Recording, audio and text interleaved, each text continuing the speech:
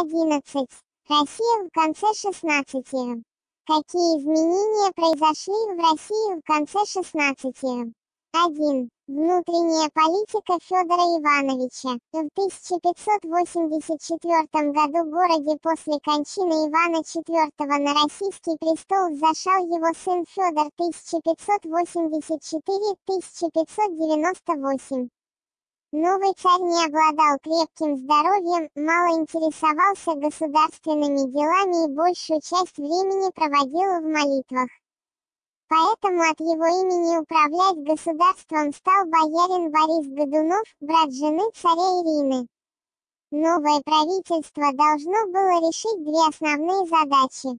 Необходимо было, во-первых, преодолеть хозяйственную разруху и восстановить нормальную экономическую жизнь, во-вторых, сплотить верхушку общества, учредив опричнину, Иван Грозный фактически натравил одну часть дворян и бояр на другую.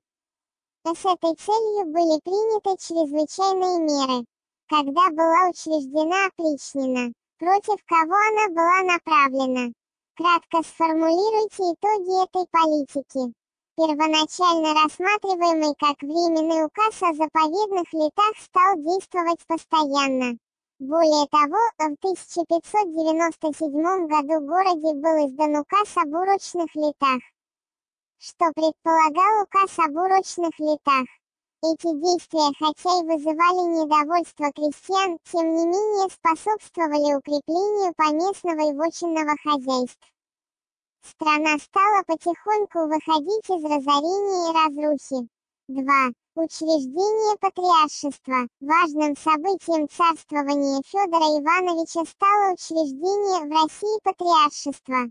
В 1589 году в городе при активном участии Бориса Годунова глава русского православного духовенства переменил сан митрополита на высший сан патриарха. Тем самым русская православная церковь стала самостоятельной и независимой от греческой. Первым патриархом московским и всея Руси стал московский митрополит Иов. Учреждение патриаршества укрепило влияние русской православной церкви как внутри страны, так и за рубежом. Патриарх Иов. Парсуна 17. 3. Внешняя политика Федора Ивановича. Во время правления Федора Ивановича Россия добилась успехов во внешней политике. В 1586 году, после смерти Стефана Батория, российское правительство продлило перемирие с Речью Посполитой до 1602 года.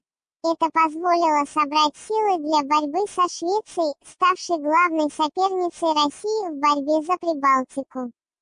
Русско-шведская война 1590-1593 года была успешной для российского государства.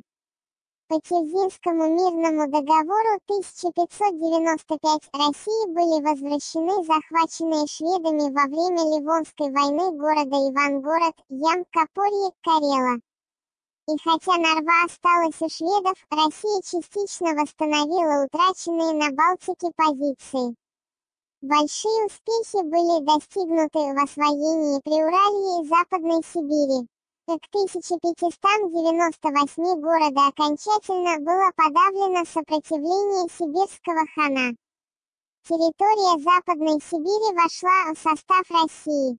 На южных рубежах государства была укреплена система обороны, что позволило успешно отражать набеги крымских татар. Усилилось влияние России на Кавказе. Царь Кахетий Александр II в 1587 году в городе выразил желание перейти под русское покровительство. Расширилась внешняя торговля России через Архангельск со странами Европы, а по Волге со странами Востока. Россия постепенно восстанавливала свой международный авторитет. 4. Пресечение династии Рюриковичей. Сразу же после смерти Ивана IV царь Федор Иванович отправил в Углич последнюю жену своего отца Марию Нагую с многочисленной родней и полуторагодовалым сыном Дмитрием. Углич был выделен в удел, но власть там осуществляли присланные из Москвы чиновники. У самого Федора Ивановича и его жены Ирины детей не было, и народ привык смотреть на младшего сына Ивана Грозного как на наследника. 15 мая 1591 года города из Углича пришла тревожная весть о смерти царевича Дмитрия. Мария Нога и ее братья утверждали, что восьмилетний царевич был убит людьми, присланными из Москвы. Жители Углича, сбежавшиеся по звону набатного колокола, растерзали предполагаемых убийц.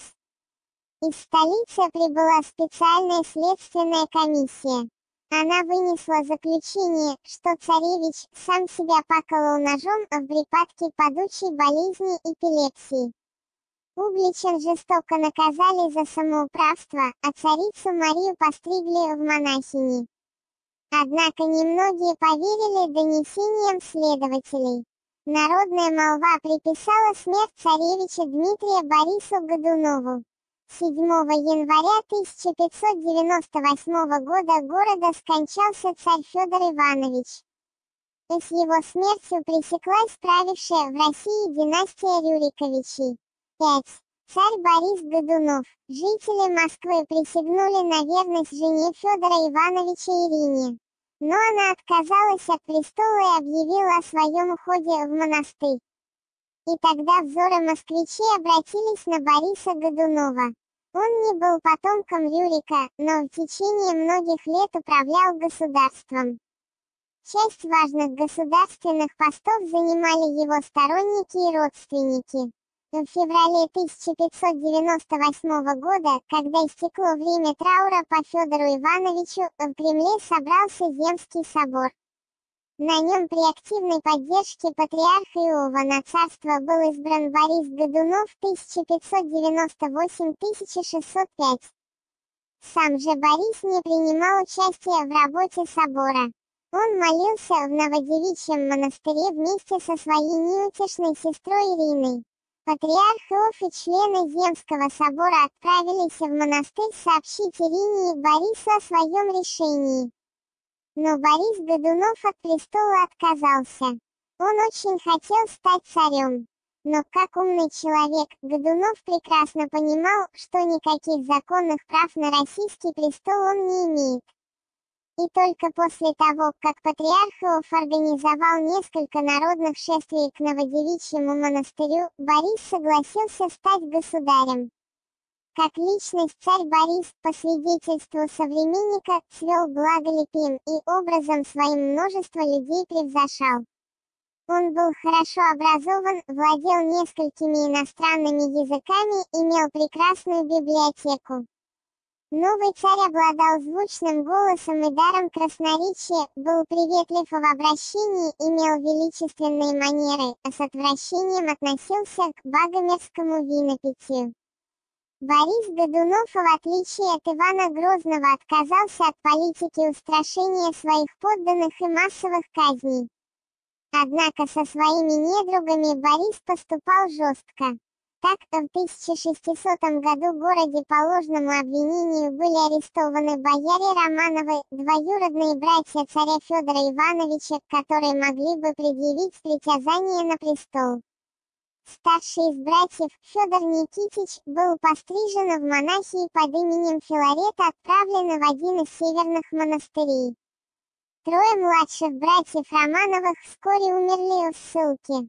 6 торговые и культурные связи России со странами Западной Европы. Борис Годунов осознавал необходимость развития торговых и культурных связей России со странами Западной Европы. Он предоставил дополнительные льготы английским купцам.